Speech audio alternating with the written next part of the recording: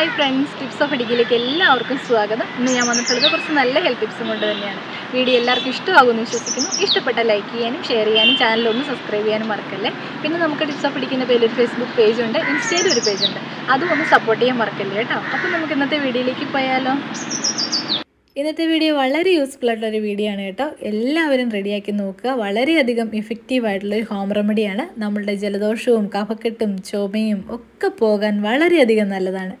ഇഞ്ചി വെച്ച് നമുക്ക് ചെയ്തെടുക്കാവുന്ന വളരെ ഹെൽത്തി ആയിട്ടുള്ള നല്ല സ്ട്രോങ് ആയിട്ടുള്ളൊരു ഒറ്റമൂലിയാണ് കേട്ടോ. എല്ലാവരും ട്രൈ ചെയ്ത് നോക്കുക.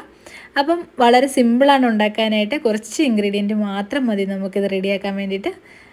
എളുപ്പത്തിൽ നമുക്കതെങ്ങനെയാണ് ഉണ്ടാക്കുന്നത് നോക്കാം. അതിന് വേണ്ടിയിട്ട് നമുക്ക് ആദ്യമേ തന്നെ ഇഞ്ചി ഒന്ന് ചുട്ടെടുക്കണം. ചുട്ടെടുക്കാൻ വേണ്ടിയിട്ട് ഞാനിവിടെ ഫ്ലെയിം വെച്ച് കൊടുത്തിട്ടുണ്ട്.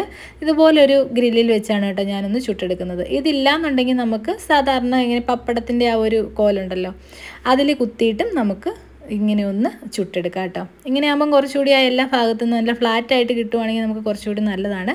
എന്തായാലും നല്ല വൃത്തിയായിട്ട് ചുട്ടെടുക്കണം കേട്ടോ. ആദ്യമത്തെ ജോലി അതാണ്. ഇഞ്ചി ഇതാ ഒന്ന് എല്ലാ ഭാഗവും നല്ലൊരു അതിനകത്തേക്ക് നല്ല ചൂടിറങ്ങുന്ന രീതിയിൽ തന്നെ ചുട്ടെടുക്കാനായിട്ട് ശ്രദ്ധിക്കുക. തീ ലോ ഫ്ലെയിം വെച്ചിട്ട് വേണം ചെയ്യാനായിട്ട്. ഹൈ ഫ്ലെയിം വെച്ചിട്ടുണ്ടെങ്കിൽ വല്ലാതെ അങ്ങോട്ട് കരിഞ്ഞ് പുറമേ ഉള്ള ഭാഗം പോവും. അകമേ നമുക്ക് നമ്മൾ ഉദ്ദേശിക്കുന്ന രീതിയിൽ അങ്ങ് മൂത്ത് കിട്ടത്തുമില്ല കേട്ടോ. അതായത് വെന്ത് കിട്ടത്തുമില്ല.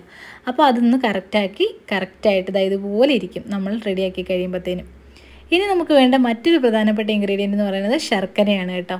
ശർക്കരയും കൂടി നമുക്ക് ശർക്കര എടുക്കുമ്പോഴത്തേനും ഒരു കാര്യം ശ്രദ്ധിക്കണം. നല്ല കരടൊന്നും ഇല്ലാത്ത മായമൊന്നും ഇല്ലാത്ത ശർക്കര തന്നെ എടുക്കാനായിട്ട് ശ്രദ്ധിക്കുക. മായം ഇല്ല എന്ന് നമുക്ക് പറയാൻ പറ്റത്തില്ല. എന്തായാലും കരടൊന്നും ഇല്ലാത്ത ശർക്കര ഒന്ന് തിരഞ്ഞെടുക്കാനായിട്ട് ശ്രദ്ധിക്കുക കേട്ടോ. മറയൂർ ശർക്കരയൊക്കെ പോലത്തത് വലിയ കുഴപ്പമില്ല കേട്ടോ. അപ്പോൾ ഇനി നമുക്ക് ഇഞ്ചിയുടെ തൊലി ഒന്ന് കളഞ്ഞു വെക്കാം. ശർക്കര നമ്മൾ നേരത്തെ ചിരണ്ടി റെഡിയാക്കി വെച്ചിട്ടുണ്ടല്ലോ. ഇപ്പം കണ്ടോ ഈ ഒരു രീതിയിൽ വാടി വന്നിട്ടുണ്ട് കണ്ടോ. നന്നായിട്ട് ഇത് ആ ഒരു ഇഞ്ചിയുടെ കളർ ആ പച്ച കളറങ്ങ് മാറി നല്ലൊരു വാടിയ ഒരു രീതിയിലേക്ക് ആയിട്ടുണ്ട്. ഇതാണ് നമ്മളുടെ ഇഞ്ചിയുടെ പാകം എന്ന് പറയുന്നത് കേട്ടോ.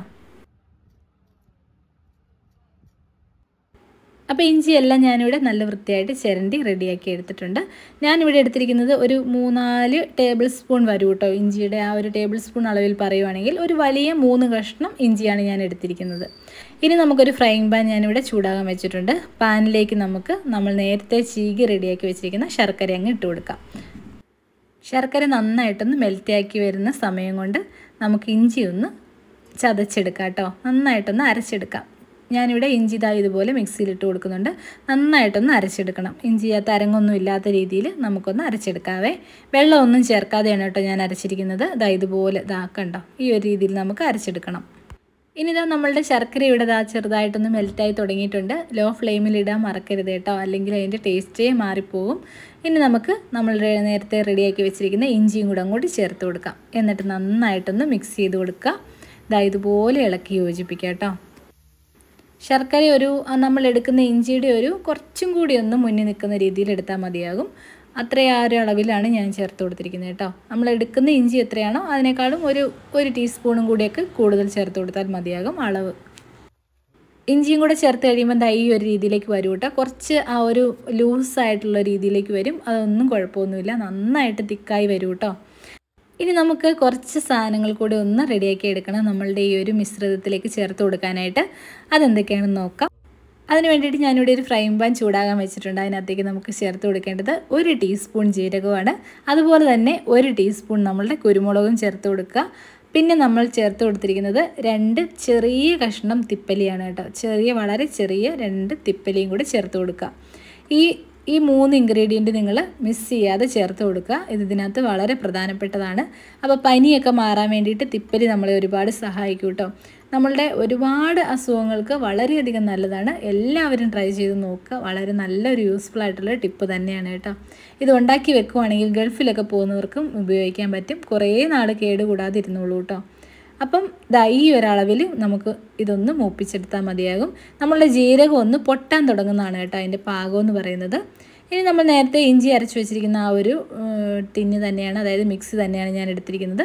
ഇനി നമ്മൾ നേരത്തെ ഇഞ്ചി അരച്ച് വെച്ചിരിക്കുന്ന മിക്സി തന്നെയാണ് ഞാൻ എടുത്തിരിക്കുന്നത്. അപ്പോഴത്തേനും നമ്മൾ അതൊന്ന് പൊടിച്ചെടുക്കുന്ന സമയം കൊണ്ട് നമ്മളുടെ ഇഞ്ചിയും ആ ഒരു ശർക്കരയും കൂടി ഈ ഒരു പാകത്തിലേക്കായിട്ടുണ്ട് ഇനി നമുക്ക് നമ്മൾ നേരത്തെ നമ്മൾ പൊടിച്ച് റെഡിയാക്കി വെച്ചിരിക്കുന്ന നമ്മുടെ പൊടിയും കൂടെ അങ്ങ് ചേർത്ത് കൊടുക്കാം. സിമ്പിളാണല്ലേ ഉണ്ടാക്കാനായിട്ട്? വളരെ എളുപ്പത്തിൽ ഉണ്ടാക്കിയെടുക്കാനായിട്ട് പറ്റും. പിന്നെ ഒരു കാര്യം ശ്രദ്ധിക്കുക. ചെറിയ ചൂടോട് കൂടി ഉരുട്ടിയെടുക്കണം കേട്ടോ. തീ എപ്പോഴും ലോ ഫ്ലെയിമിലാകുകയും ചെയ്യണം. അത് രണ്ടും മറക്കരുത്. നമ്മൾ ഈ ഒരു മരുന്ന് റെഡിയാക്കുന്ന സമയത്ത്. അപ്പം ഇഞ്ചി കൊണ്ടുള്ള വളരെ എളുപ്പത്തിൽ റെഡിയാക്കാൻ പറ്റുന്ന ഒരു രസായനം പോലെ വേണമെങ്കിൽ നമുക്ക് കഴിക്കാം. അല്ലാന്നുണ്ടെങ്കിൽ നമുക്കിത് ചെറിയ ചെറിയ ബോൾസായിട്ട് ഉരുട്ടി സൂക്ഷിക്കുകയും ചെയ്യാം കേട്ടോ. അപ്പോൾ അതാ ഈ ഒരു പാകമൊക്കെ ആകുമ്പോൾ മതിയാകും. നമുക്ക് ഫ്ലെയിം ഓഫ് ചെയ്യാം. ചെറിയ ചൂടോട് കൂടി ഒന്ന് ഉരുട്ടിയെടുക്കാനായിട്ട് ശ്രദ്ധിക്കുക. ഇനി ഇൻ കേസ് നമ്മൾ ഉരുട്ടുന്ന സമയത്ത് ഒന്ന് ഹാർഡായി പോയിട്ടുണ്ടെങ്കിൽ നമുക്ക് വീണ്ടും ഒന്ന് ഫ്ലെയിമേ വെച്ച് കൊടുത്താൽ മതിയാവും കേട്ടോ. അപ്പോൾ വീണ്ടും നമ്മൾ ഉദ്ദേശിക്കുന്ന ആ ഒരു രീതിയിലേക്ക് നമുക്ക് ഉരുട്ടിയെടുക്കാനായിട്ട് സാധിക്കും. ഇങ്ങനെയാണ് ഞാൻ ആ ഒരു പാത്രത്തിൽ കുറച്ച് നെയ്യ് ഒന്ന് തടവിയതിന് ശേഷമാണ് ഞാൻ നന്നായിട്ട് ഇതായതുപോലെ ഉരുട്ടി കൊടുക്കുന്നത്. അപ്പോൾ നമുക്കത് വിട്ട് കിട്ടാൻ വേണ്ടിയിട്ട് സഹായിക്കും കേട്ടോ രണ്ട് എല്ലാം കൂടെ അങ്ങ് ഒട്ടിപ്പിടിക്കാതിരിക്കാൻ വേണ്ടി സഹായിക്കും. ഈ ഒരു നെയ്യ് ഇങ്ങനെ തടവി കൊടുക്കാൻ വേണ്ടിയിട്ട് ശ്രദ്ധിക്കുക കേട്ടോ വളരെ സിമ്പിളായിട്ട് ഉണ്ടാക്കിയെടുക്കാൻ പറ്റും. കുഞ്ഞു കുട്ടികൾക്ക് വരെ കൊടുക്കാം. ധൈര്യമായിട്ട് കഴിക്കാവുന്ന നല്ലൊരു മെഡിസിനാണ് എല്ലാവരും ഉണ്ടാക്കി നോക്കുക. കഫക്കെട്ടും ജലദോഷവും ചുമയും ഒക്കെ മൂലം കഷ്ടപ്പെടുന്ന ഒരുപാട് പേരുണ്ട്. അവർക്കൊക്കെ നല്ലൊരു ആശ്വാസമായിരിക്കും.